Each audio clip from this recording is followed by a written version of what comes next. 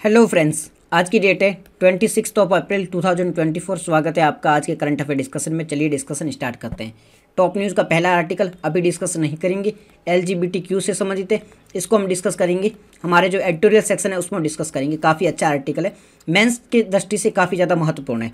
चलते हमारे पहले आर्टिकल की ओर। पहला जो आर्टिकल है पीआईबी का है।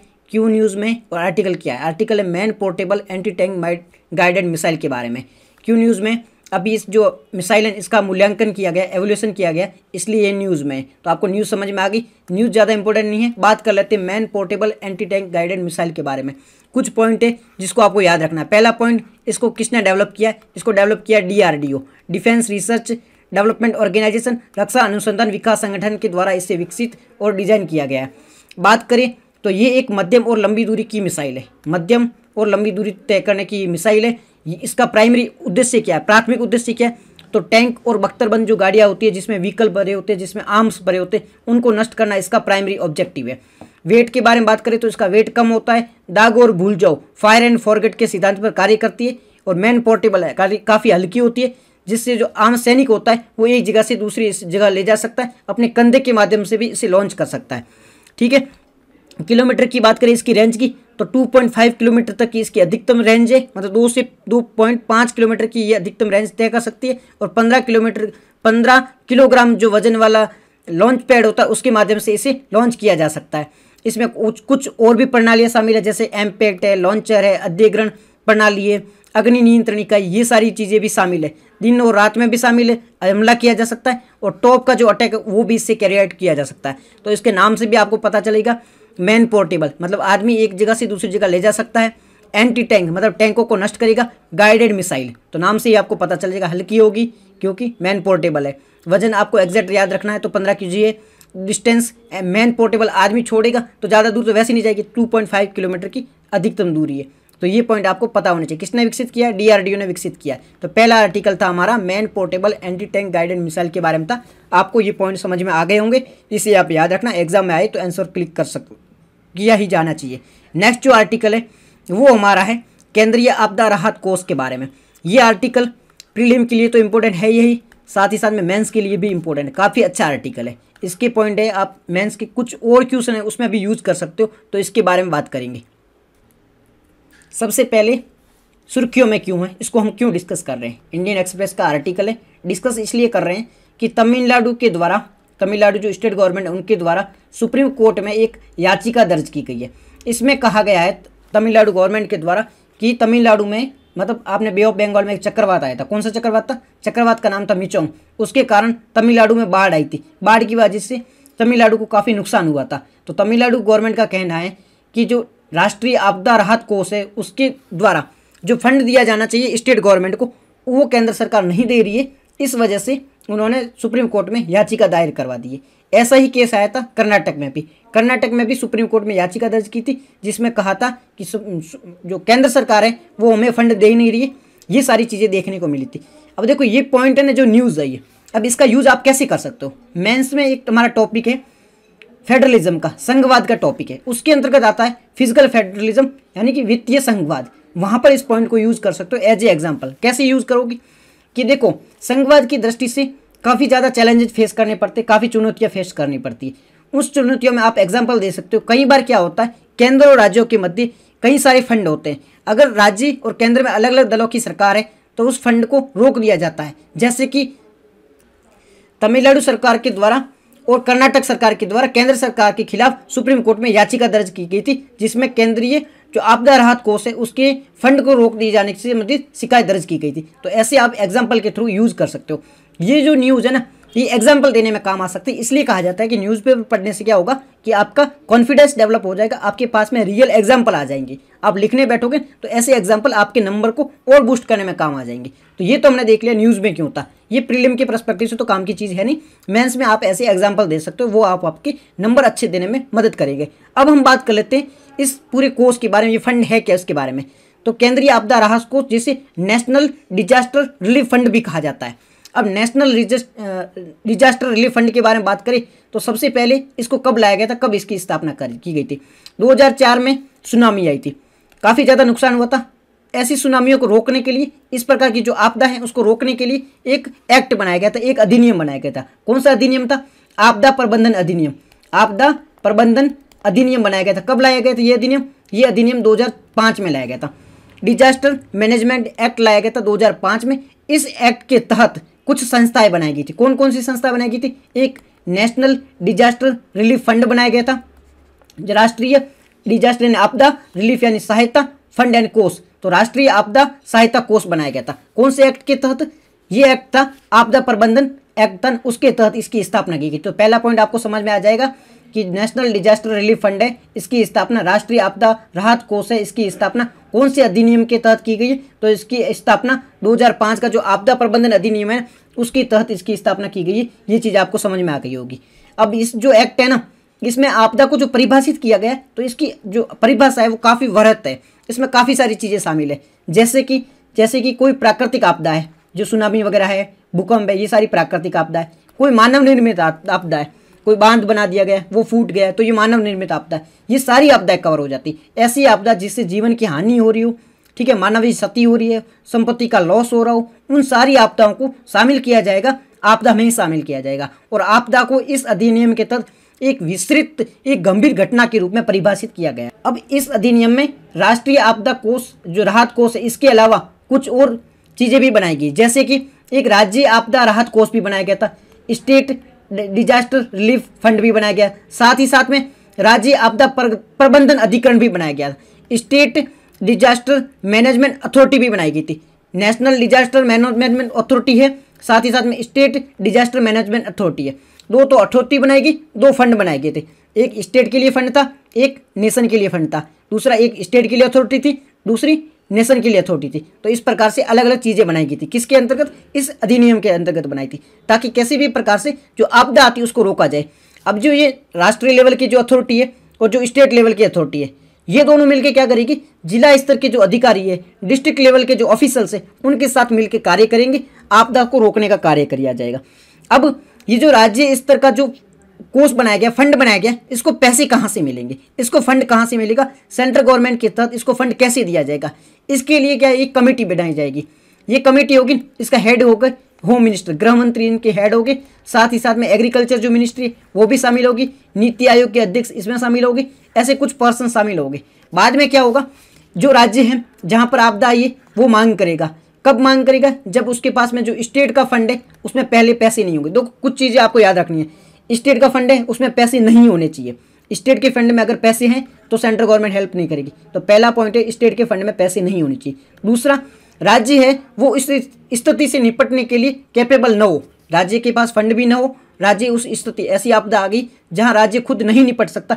ऐसी परिस्थितियों में ही सेंट्रल गवर्नमेंट हेल्प करेगा। और हेल्प करने से पहले सेंट्रल गवर्नमेंट क्या करेगा? सेंट्रल गवर्नमेंट एक कमेटी बनाएगा, ये कमेटी जाँच करेगी कि राज्य ने अगर पैसे मांगे तो राज्य अगर पैसे मांग रहा है, सही मांग रहा है, नहीं मांग रहा है तो उस पूरी कमेटी द्वारा जाँच की जाएगी। बाद में राज्य केंद्र सरकार के द्वारा स्टेट का जो फंड है, उसमें पैसे दिए जाएँगे।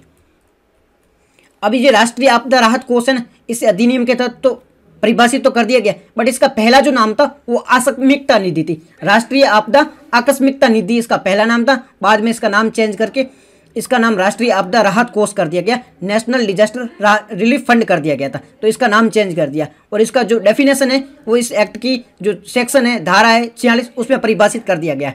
अब इसमें किस किस चीज़ें, जैसे आपातकाल इसमें आपातकालीन प्रतिक्रिया को शामिल किया जाएगा राहवत है पुनर्वास इन सारी चीज़ों को शामिल किया जाएगा और केंद्र सरकार इसके लिए फंड भी देगी। इस प्रकार से कार्य करेगा।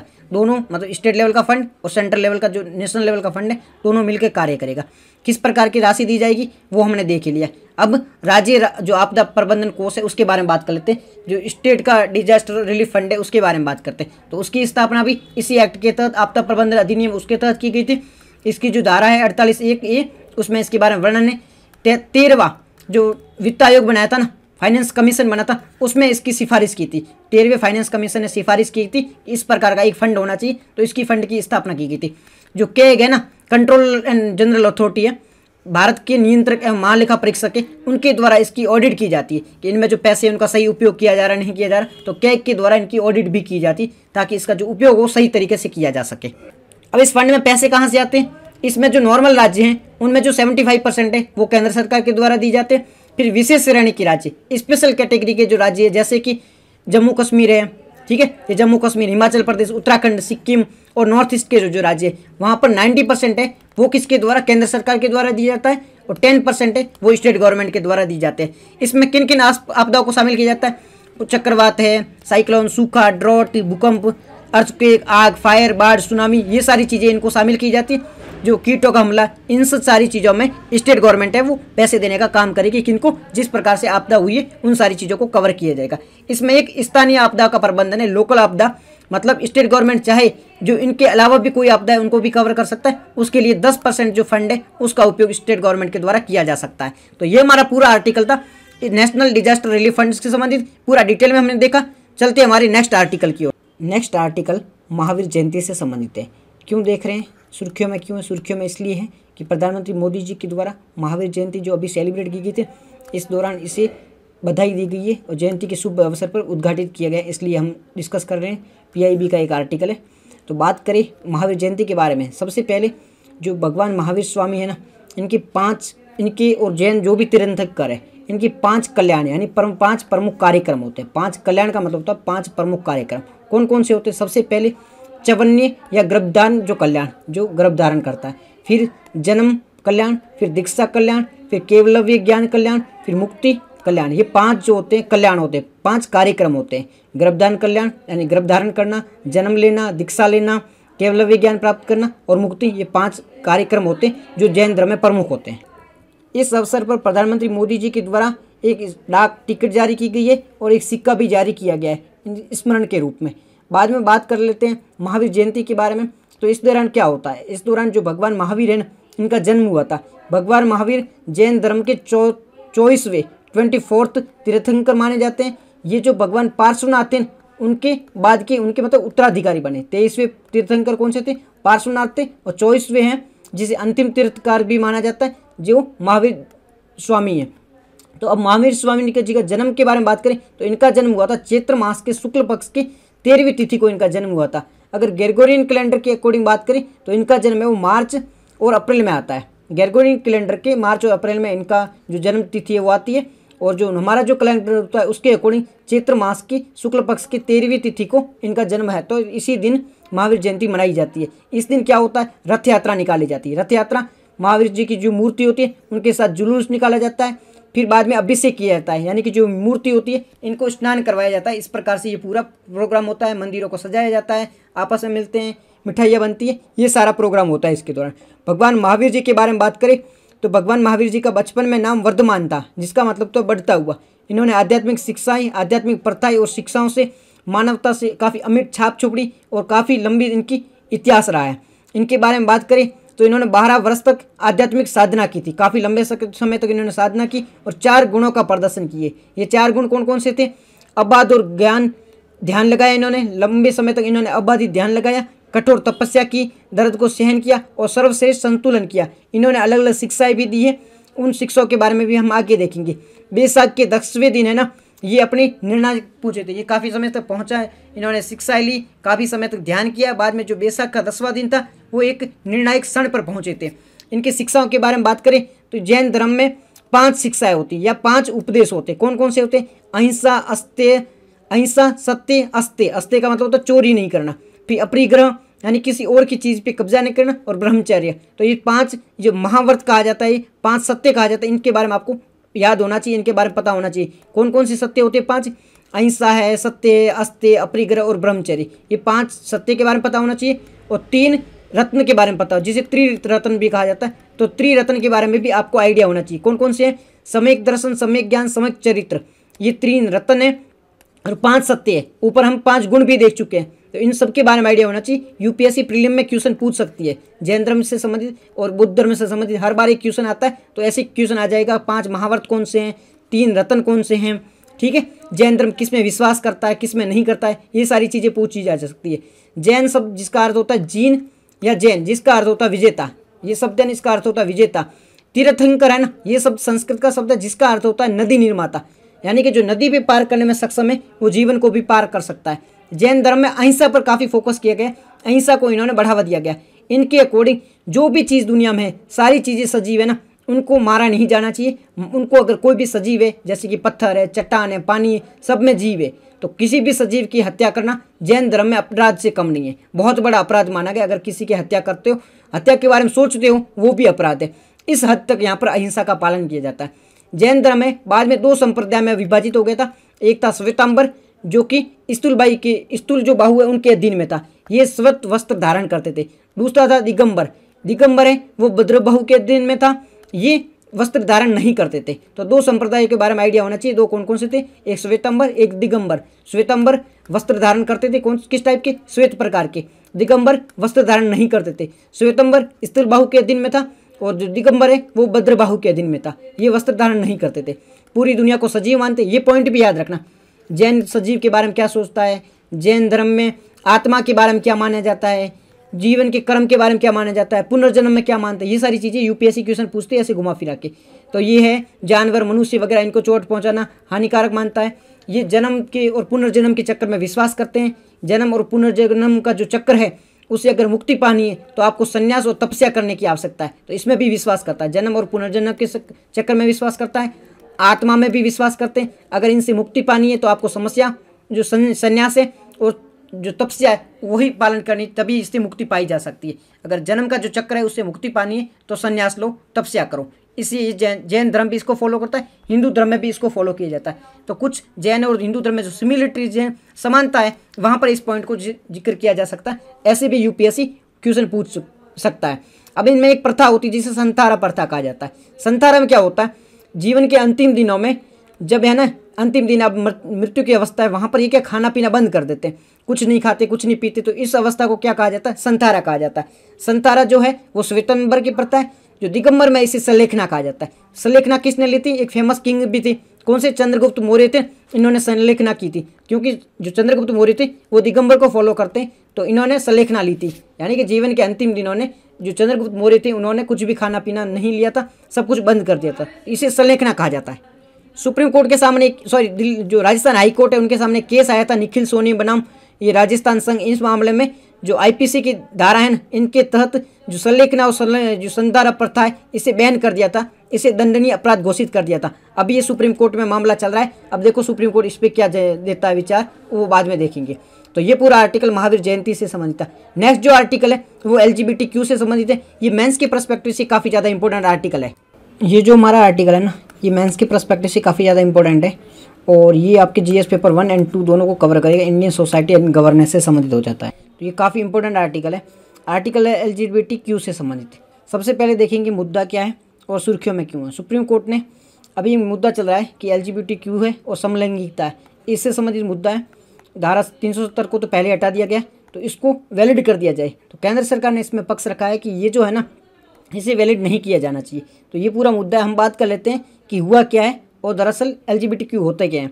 एल एक वर्ग है, जैसे कि एक होता है मेल एक होता फीमेल एक होता है अदर्स ठीक है? आप मेल या फीमेल चूज़ कर सकते हो, तीसरा होता है अदर्स अदर्स में ये सारी कैटेगरी शामिल होती है। क्या क्या होता है? एल का मतलब होता है लेस्बियन जो फीमेल है, वो फीमेल है, वो फीमेल की, यानी वुमन वुमेन की ओर अट्रैक्शन होता है लेस्बियन कहा जाता है।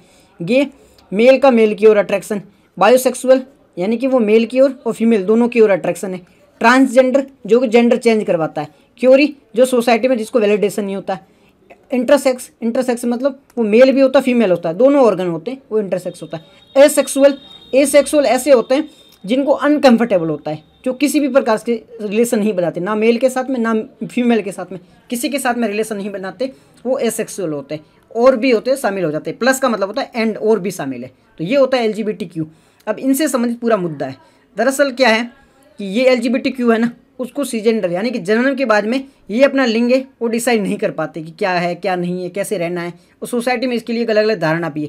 प्लस में वो सारे चीज़ें शामिल है, वो सारे जो धारणा शामिल है, वो सारे वर्ग शामिल है, जो इनके अलावा है। जैसे हमारे समाज में अलग अलग वर्ड होते हैं, इस वर्ड का यूज़ नहीं करेंगे, बट ऐसे अलग अलग वर्ड होते हैं, ठीक है, जिसे अलग अलग रूप में संबोधित किया जाता है। इनको थर्ड जेंडर के रूप में आज वर्तमान में इनको थर्ड जेंडर जेंडर के रूप में संशोधित किया जाता है या संबोधित कहा जाता है। अब इससे संबंधित सुप्रीम कोर्ट के अलग अलग मामले आए, सुप्रीम कोर्ट में अलग अलग केस चले थे तो एक बार उनके बारे में देख लेते हैं, सुप्रीम कोर्ट में क्या क्या है जजमेंट आए और सुप्रीम कोर्ट ने एल समूह और जो बायोसेक्सुअल होते हैं, इन मैरिज है, इन सब के बारे में क्या सुप्रीम कोर्ट ने कहा, इनके बारे में देख लेते हैं। तो सुप्रीम कोर्ट में अलग अलग जजमेंट आए थे, एक जजमेंट आया था सबसे पहले नालसा। ये जो जजमेंट आया था, इसमें सुप्रीम कोर्ट ने है ना, धारा तीन सौ सत्तर है, जो कि सम लैंगिक की बात करता है। मतलब समान सेक्स में मैरिज के बारे में बात करता है। दोनों समान है। समलैंगिकता अपराध है या नहीं है। इससे संबंधित ये पूरा मामला था। इसमें सुप्रीम कोर्ट ने कहा, ये जो समलैंगिकता है ना, ये अपराध है। इसको आप वैलिड नहीं किया जा इससे पहले क्या हुआ था? 2009 में दिल्ली हाई कोर्ट का एक जजमेंट आया था। उसमें जो धारा तीन सौ सतहत्तर है, इसे हटा दिया गया था। इसे संवैधानिकता उल्लंघन बोल के इसे हटा दिया गया था।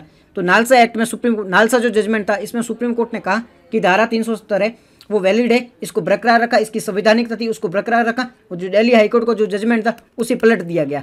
तो ये इससे संबंधित एक्ट था। इसके बाद में सुप्रीम कोर्ट में एक और जजमेंट दिया था। ये था के एस पुट्टा स्वामी पलम भरत संघ बट आप कहोगे के एस पुट्टा स्वामी ये तो प्राइवेसी की बात करता है राइट टू प्राइवेसी की बारे बात करता है। बट इस जजमेंट में सुप्रीम कोर्ट ने L G B T Q उनकी प्राइवेसी की भी बात, बात, बात करी थी। सुप्रीम कोर्ट ने कहा था राइट टू प्राइवेसी एक फंडामेंटल राइट है। इसके साथ साथ में जो L G B T Q आबादी है ना उसका जो अधिकारी है, वो भी प्राइवेसी के अंतर्गत आता है। तो यहाँ से एल की जो क्यू है, उनके जो अधिकार है, उनके बारे में बातचीत होनी स्टार्ट हो गई थी। उसके बाद में सफिन जहाँ बनाम भारत संघ मामला आया, क्योंकि क्या हुआ था, केरल जो गवर्नमेंट है, उनके खिलाफ एक मामला गया था तो केरल जो हाईकोर्ट है, उन्होंने कहा था, ये शादी की गई थी, ये रद्द कर दिया गया था। तो बाद में सुप्रीम कोर्ट ने इस शादी को वैलिड करार दे दिया गया। सुप्रीम कोर्ट ने कहा कि जो शादी है, जो मैरिज है, वो फंडामेंटल राइट है और दो लोगों को अधिकार होता है, वो अपना जीवन साथी चुन सकता है। तो जीवन साथी चुनने का अधिकार है, वो फंडामेंटल राइट है, इसका उल्लंघन नहीं किया जा सकता है। बाद में शक्ति वाहिनी बना, भारत संघ मामला गया। इसमें जो खाप पंचायती होती, उनको भी कहा कि आप जीवन साथी चुनने का जो अधिकार है, वो लोगों से नहीं चुन सकते हो तो ये इनके खिलाफ था। तो इस प्रकार से अलग अलग मामले आए। फाइनल जो जजमेंट आया था, वो था नवजीत, नवतेज जौहर बनाम भारत संघ मामला, ये 2018 में आया था। इसमें सुप्रीम कोर्ट ने कहा कि जो धारा तीन है सतहत्तर धारा तीन सौ सतहत्तर है वो इस हद तक रद्द कर दी जाएगी जहाँ पर समलैंगिकता को अपराध माना जाता है। यानी कि धारा तीन सौ सतहत्तर है वो उस हद तक जहाँ पर समलैंगिकता है उसको अपराध माना जाता है। यानी कि इसके बाद में समलैंगिकता है वो अपराध नहीं है। इस फैसले को सुप्रीम कोर्ट ने इस प्रकार से कहा कि समलैंगिकता अपराध नहीं है बट समलैंगिक में शादी करना ये है वो को, जो कोर्ट तय नहीं करेगी। वो पार्लियामेंट का काम है, बट समलैंगिकता है, वो अपराध नहीं है। तो यहाँ ओनली अपराध को हटाया गया इसका मतलब तीन सौ सत्तर को पूरी तरह से नहीं हटाया है। यहाँ ओनली समलैंगिकता को अपराध से हटाया गया है। तो ये चीज़ आपको पता होनी चाहिए, समलैंगिकता अपराध नहीं है, बट इसके तहत शादी की जाएगी, नहीं की जाएगी, वो कोर्ट तय नहीं करेगी, वो तय करने का काम है, वो पार्लियामेंट का है। ये पूरा मुद्दा है। देखो, दिल्ली हाईकोर्ट में पहले केस चला, फिर 2013 में सुप्रीम कोर्ट ने दिल्ली हाईकोर्ट के फैसले को रद्द कर दिया गया। इस प्रकार से अलग अलग केस आए। फाइनली सुप्रीम कोर्ट ने तीन सौ सत्तर को सतहत्तर को सुप्रीम कोर्ट ने कह दिया कि अब से ये आपराधिक गतिविधि नहीं है। यानी कि 377 के तहत जो समलैंगिकता आती है, वो अपराध नहीं है। बट 377 अभी भी वैलिड है। 377 है, वो अभी भी वैलिड है। बट 377 के तहत आपराधिक घटना है, वो नहीं मानी जाएगी। अब इसमें सरकार का क्या स्टैंड था? तो इस मामले में सुप्रीम कोर्ट ने तय कर दिया था कि ये जो आचरण है, वो वेद नहीं है। जो समलैंगिकता का जो आचरण है, वो वेद नहीं है बट ये जो है, वो अपराध भी नहीं है। वेद नहीं है बट अपराध भी नहीं है, ये सुप्रीम कोर्ट ने क्लियर कर दिया था। पर सुप्रीम कोर्ट ने साथ ही साथ ये भी कहा था, ये केवल है ना, इसको अपराध घोषित करना या इसके बारे में जो भी फैसला देना, वो विधायिका पार्लियामेंट का काम है। सुप्रीम कोर्ट इस पर कोई भी फैसला नहीं दे सकती। सुप्रीम कोर्ट ने सिंपल सा कह दिया, ये जो आचरण है, वो अवैध है। इस आचरण को वेद नहीं ठहराया जा सकता है, क्योंकि ये जो प्रथा है वो रीति रिवाज पर चलती है। ये पूरी संस्कृति पे चलता है, लोकाचार पे चलता है, सामाजिक मूल्यों पे चलता है, पर समाज समाज में समलैंगिकता है, वो मूल्य नहीं है। समलैंगिकता किसे कहा जाता है? समलैंगिकता से जो अगर शादी होगी तो उसमें बच्चे पैदा नहीं होंगे। तो इसे है ना, वेद नहीं ठहराया जा सकता है। बाकी समलैंगिकता है, वो अनुच्छेद चौदह और इक्कीस के तहत अपराध नहीं है, क्योंकि अनुच्छेद इक्कीस कहता है, जीवन जीने का अधिकार है अनुच्छेद चौदह कहता है कि समानता का अधिकार है। इसके तहत इसे अपराध घोषित नहीं किया जा सकता। ये था सुप्रीम कोर्ट का स्टैंड। बाद में सरकार ने भी इसे अवैलिड घोषित किया। सुप्रीम सरकार ने कहा साफ़ साफ़ कि इसे हम घोषित नहीं कर सकते, क्योंकि ये जो है ना, हमारा जो मैरिज मैरिज का जो इंस्टीट्यूट है पूरा, जो पारिवारिक इंस्टीट्यूट है, उसके खिलाफ है। तो बस इसके पक्ष में कुछ तर्क दिए जाते हैं। इसके पक्ष में क्या क्या तर्क दिए जाते हैं? जो हमारा स्पेशल मैरिज एक्ट है, विशेष विवाह अधिनियम है उन्नीस का उसमें भी जोड़ा है, वो विवाह कर सकता है, उसकी मंजूरी दी गई है। उसके साथ साथ में ये हमारा फंडामेंटल राइट है आर्टिकल 21 आर्टिकल 14 ये दोनों आर्टिकल बात करते हैं कि जो शादी करना अधिकार है, उसे रोका नहीं जा सकता है। समानता का अधिकार आर्टिकल चौदह, ये भी बात करता है। वैश्विक अभ्यास भी है। 133 देशों में समलैंगिकता को अपराध घोषित, अपराध की श्रेणी से बाहर रखा गया। अब तो भारत में भी इसे बाहर रख दिया गया। बत्तीस देश ऐसे हैं जहाँ पर समलैंगिक विवाह भी है, वो कानूनी मान्य है। मतलब समलैंगिक विवाह भी कर सकते, शादी भी कर सकते। वो मान्य है। इसलिए समलैंगिकता के पक्ष में तर्क है कि इसको मैरिज भी करना वैलिड कर दिया जाना चाहिए। कुछ इसके प्लग, खिलाफ भी तर्क दिए जाते हैं। खिलाफ क्या तर्क है? धार्मिक और सांस्कृतिक मान्य है। लोगों का कहना है कि ये जो है ना, धर्म और संस्कृति के खिलाफ है। यहाँ पर संतान उत्पत्ति नहीं होती। शादी के बाद क्यों की जाती शादी? ताकि जैविक बच्चे हों, पर यहाँ पर जैविक बच्चे उत्पत्ति नहीं किया जा सकता। इसलिए पूरे तरह से तार्किक नहीं हो सकता है। साथ में कानूनी भी मुद्दे, पूरे कानून को बदलना पड़ेगा, इसलिए ये खिलाफ तर्क दिए जाते हैं।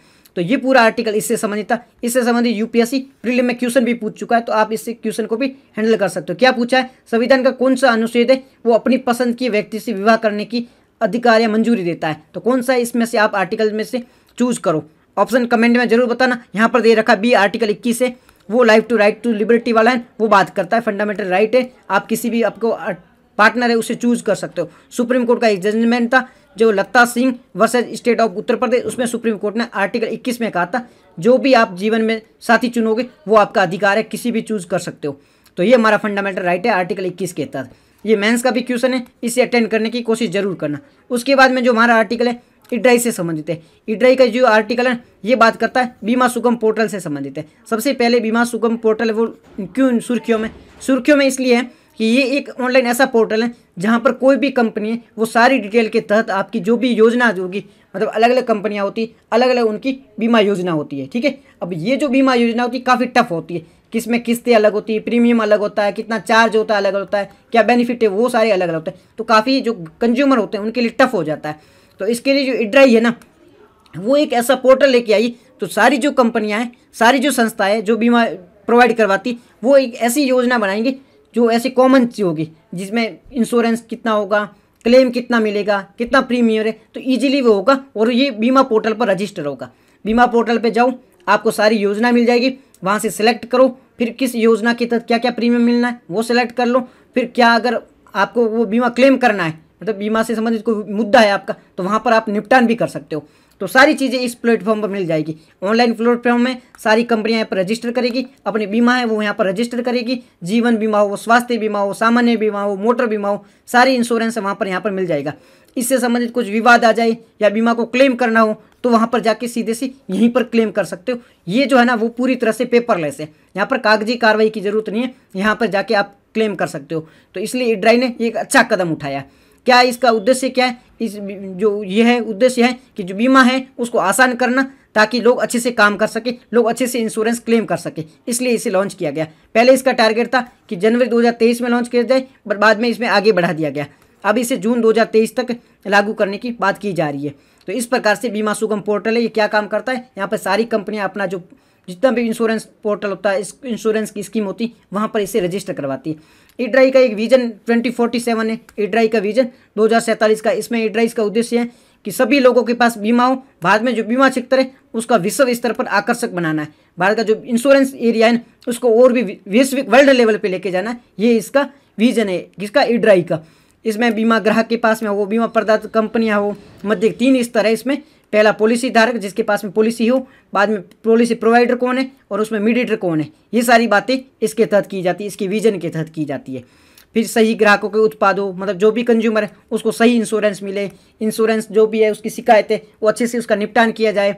बीमा आसानी से प्रोवाइड हो, आसानी से उसको नवाचार टेक्नोलॉजी का उपयोग किया जाए पेपरलेस हो तो ये सारी है बीमा। किसकी? बीमा विजन है, जो इड्राई का विजन है ट्वेंटी फोर्टी सेवन का, उसके तहत बात की गई है। फिर बीमा ट्रिनिटी, ये क्या होता है? अगर कोई भी व्यक्ति बीमा लेता है तो उसको आसानी से बीमा मिल जाए। जो पॉलिसी की है, वो क्लेम आसानी से हो जाए। ये सारी बीमा ट्रिनिटी के तहत आता है। तो ये ट्रिनिटी आपको याद रखने की आवश्यकता नहीं। इड्राई के बारे में बात करें तो इड्राई यानी बीमा विनियामक और विकास प्राधिकरण, ठीक है? Insurance regulatory and development authority इसकी स्थापना कब हुई थी? इसकी स्थापना उन्नीस सौ निन्यानवे में हुई थी। मल्होत्रा समिति की सिफारिशों पर इसकी स्थापना हुई थी।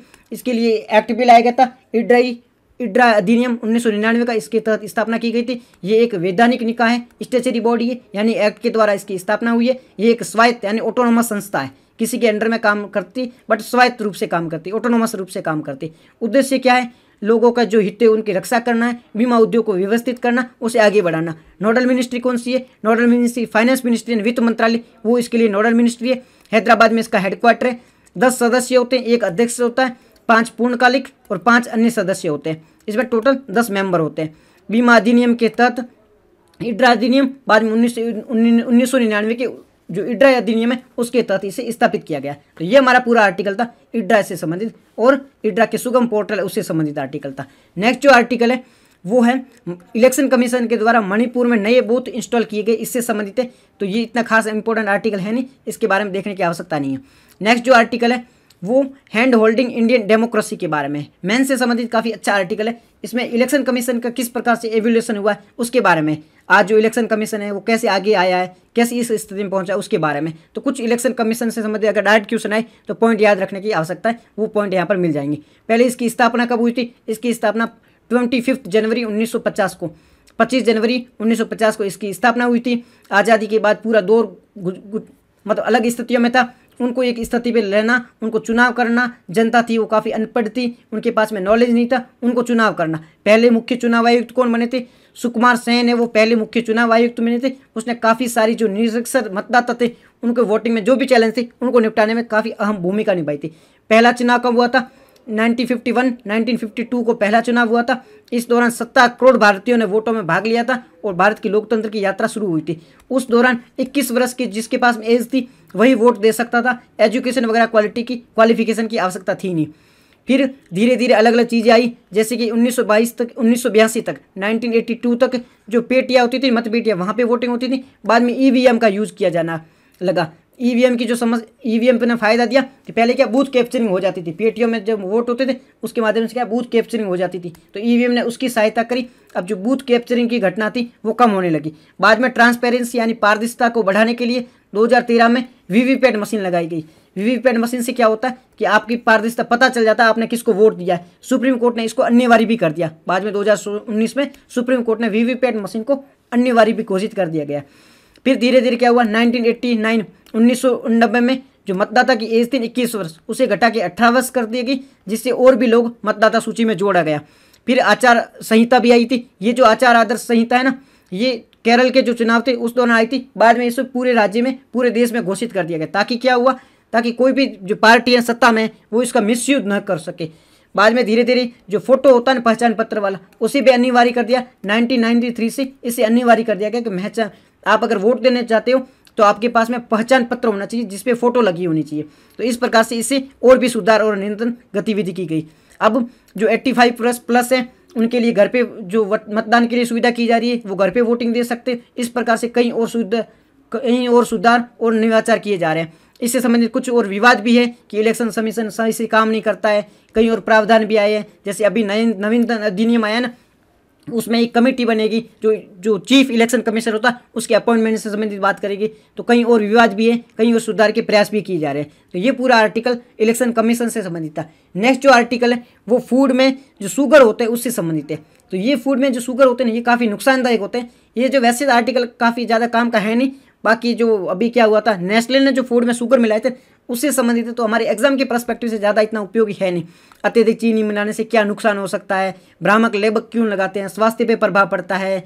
इससे क्या चिंताएँ बढ़ती है? फिर चीनी सामग्री क्यों बढ़ाई जाती है? लोगों को अट्रैक्ट करने के लिए बच्चों को क्या चीनी ऐसी मीठा होते हैं? इसके कारण वो खाते ज़्यादा है। ये सारी कदम उठाने की आवश्यकता है। और कड़ कुछ विनियम में सुधार करना चाहिए। उपभोक्ता को जागरूक करने की आवश्यकता है। तो ये आर्टिकल पूरा उससे संबंधित है।